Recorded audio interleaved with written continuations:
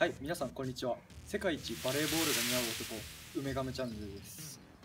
噛んだ。梅ガメチャンネルです。今日はね、なんとこれです。なんで？咳のスイッチ。と今日はね、サッカーボールなんですけど、見えますかね？サッカーボールなんですよね、これ一応。クラシックスタイルの。はい。今日は何をするかというとリフティングって皆さん知ってますか？リフティング。こう足でね落とさないように膝とか、まあ肩とか頭とかねやるんですけど、まあ落とさないように何回できるかっていうのをやるんですが100回とかね余裕なんですよ実際。だからちょっと500回ぐらい軽くサクッと。もうあっさり終わると思うんで500回やります。ちなみに、えー、と今日のねラッキーカラーはちょピンクなんですけど、ね、オレンジと水色と赤の感じです。イエイ。というわけで早速やっていきましょう。フェンフェケフェンフェンフェンフェケフェ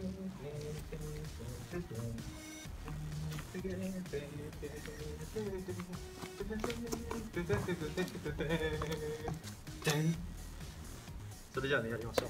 まずね僕はねあの小学校3年生から高校3年生まで野球部だったんでサッカー知らないんですけど ちょっとねあそこのゴールあるんですけどそこに入れたいなと思います。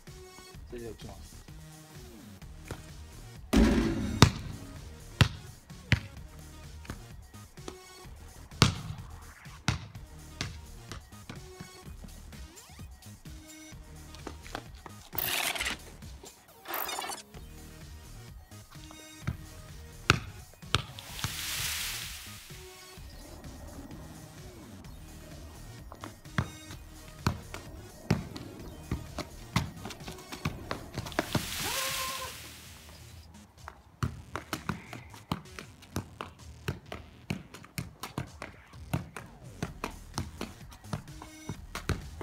お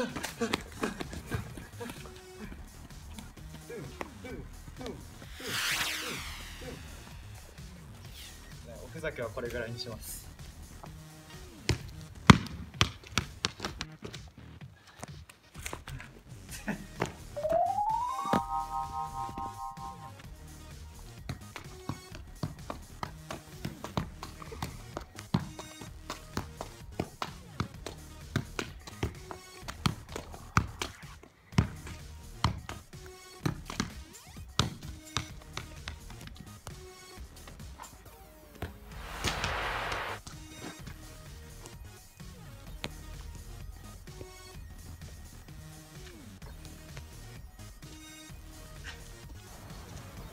間違えた間違えた。間違えた。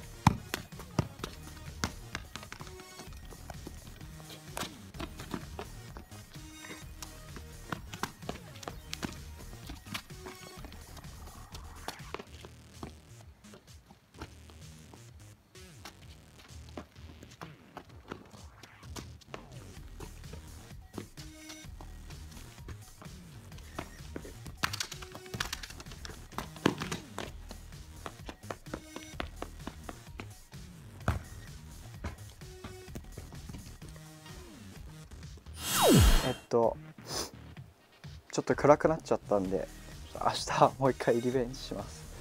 今日は前編ということで一旦これで終わりです。アデュー